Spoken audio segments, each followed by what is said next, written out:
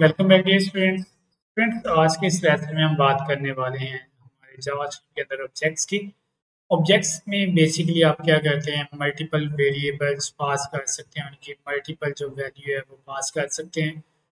आप यहाँ पे कह सकते हैं कि एक आपके पास ऑब्जेक्ट के अंदर जो वैल्यूज़ होंगी, उनको हम ऑब्जेक्ट प्रॉपर्टीज़ बोलेंगे और हमारे पास उन प्रॉपर्टीज़ की कोई ना कोई वैल्यूज़ होंगी। अगर आप बात करें for example real life real life की तो मैं चलता हूँ स्क्रीन पे और यहाँ पे आप देख सकते हैं कि मेरे पास जो मैंने एग्जांपल यूज़ की हुई है दैट इज़ कार कार मेरे पास अब एक ऑब्जेक्ट है। अब अगर इस ऑब्जेक्ट की प्रॉपर्टीज़ की बात करें तो कार का कोई मॉडल हो सकता है कार की कोई कंपनी हो सकती है कार का कोई कलर हो सकता है। इसकी जो कोई ऑर्ड्स पावर हो सकती है, इनकी जो टायर हैं, उसकी आप कह सकते हैं, कोई क्वालिटी हो सकती है। लाइट्स की कोई क्वालिटी हो सकती है। तो इस तरह से आप कह सकते हैं कि आपके पास जो एक ऑब्जेक्ट के अंदर आप डिफरेंट प्रॉपर्टीज़ को यूज़ कर सकते हैं, उन प्रॉपर्टीज़ को डिफरेंट वैल्यूज़ दे सकते हैं, फिर उनको गेट कर सकते हैं। तो चलें चलते हैं अपने वी एस कोड पे और लर्न करते हैं हम इसको किस तरह से यूटिलाइज करेंगे by using JavaScript for example मैं बात करता हूँ, आपने वही आप कांस्टेंट और लेट कीवर्ड को यूज़ करके अपना ऑब्जेक्ट जो है वो डिक्लेयर कर सकते हैं।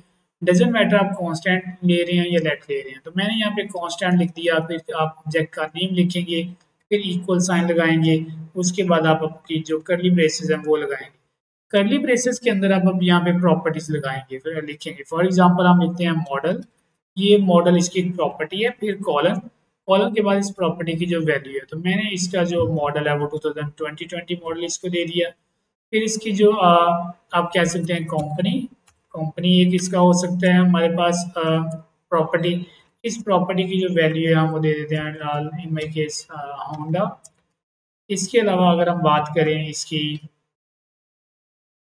लाइट्स की तो हम लाइट्स की एक प्रॉपर्टी पास करते हैं और इसकी वैल्यू देते हैं एल ई डी लाइट्स ठीक है? इसके अलावा अगर हम बात करें लाइट्स के अलावा हम करते हैं जी टायर्स की बात करते हैं। तो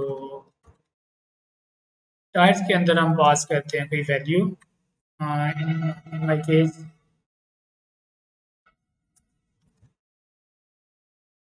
A plus quality types तो मैंने ये आ, कुछ ऑब्जेक्ट को प्रॉपर्टी जो है वो पास कर दी ठीक है? अब मैं क्या करता हूँ ये इसको भी हम कैपिटलाइज करते हैं सॉरी स्मॉल लेटर में करते हैं। अब मैंने इस ऑब्जेक्ट के जो ये प्रॉपर्टीज़ हैं, अगर मैंने इनको गेट करना हो तो मैं क्या करूँ? तो कंसोल लॉग लगाते हैं जी हम वैल्यूज़ को कंसोल पे देखने के लिए। तो यहाँ पे मैं बात करता हूँ हमारे सबसे पहले लिखेंगे ऑब्जेक्ट का नेम मेरे केस में जो ऑब्जेक्ट का नेम है दैट इज़ कार डॉट उसके बाद जो आप प्रॉपर्टी गेट करना चाहते हैं। आप देखिए आपके पास ये प्रॉपर्टीज़ की जो लिस्ट है, वो आपके पास शो हो रही है तो मैं यहाँ पे लिखता हूँ कार डॉट मॉडल मैं इसको सेव करता हूँ सेव करने के बाद मैं जाऊँगा अपने वी एस कोड पे और मैं जैसे इसको रिफ्रेश करूँगा तो ये देखिए, आपके पास कॉर का मॉडल जो है वो 2022 जो है ये विजिबल हो रहा है।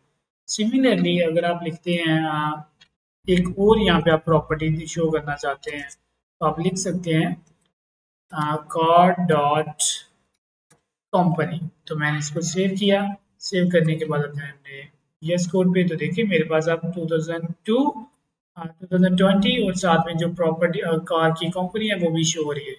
तो इस तरह से आप आपका जो ऑब्जेक्ट है उसकी प्रॉपर्टीज़ को गेट कर सकते हैं। अब हम बात करते हैं ऑब्जेक्ट मेथड्स की। तो आपके पास ऑब्जेक्ट के अंदर अगर कोई फ़ंक्शन आप यूज़ कर रहे हैं तो आप उस फ़ंक्शन को ऑब्जेक्ट मेथड बोलेंगे। वो फ़ंक्शन इस सब्जेक्ट का मेथड होगा। फॉर एग्जांपल अब मैं अगर यहाँ पे फ़ंक्शन क्रिएट करने की बात करूँ तो मैं इसका आ, करता हूँ जी रजिस्ट्रेशन एक इसको दे देता हूँ। तो यहाँ पे मैं क्या करूँगा अपने फ़ंक्शन का नेम दूँगा। फ़र्स्ट ऑफ़ ऑल फ़ंक्शन फिर इसका नेम जो भी है तो मैंने नाम दे दिया रजिस्ट्रेशन और उसके बाद आपने ब्रैकेट्स लगानी है। तो यहाँ पे करली बेसिस के अंदर आपका जो डेटा है वो आप पास कर सकते हैं। इन माई केस में लिखता हूँ लॉग और यहाँ पे मैं जो बात करने वाला हूँ, मैं लिखता हूँ। Registered in 2022 from Ranchi just मैंने इसको सेव किया।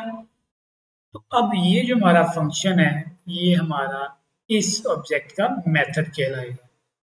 तो डियर स्टूडेंट्स अभी तक हमने जो ऑब्जेक्ट्स को क्रिएट करना सीखा, हमने ऑब्जेक्ट की वैल्यूज़ की, इसकी डेफिनेशन सीखी ऑब्जेक्ट की हमने प्रॉपर्टीज़ के बारे में डिस्कस किया ऑब्जेक्ट की वैल्यूज़ को एक्सेस करने के बारे में डिस्कस किया और ऑब्जेक्ट के जो मेथड्स हैं उनके बारे में हमने डिस्कस किया। तो उम्मीद करता हूँ मेरा आज का ये जो लेसन है, ये आप लोगों के लिए हेल्पफुल रहा होगा। अगले लेसन में फिर मुलाकात करते हैं, तब तक के लिए अल्लाह हाफिज़।